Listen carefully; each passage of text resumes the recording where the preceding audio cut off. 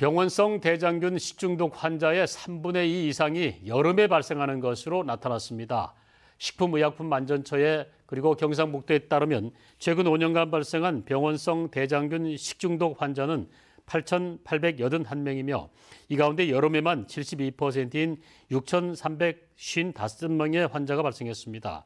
발생 장소는 학교가 5,424명으로 61%를 차지해 가장 많았고 기업체 등의 집단 급식소가 1,744명 20%, 음식점 865명 10%의 순으로 나타났습니다.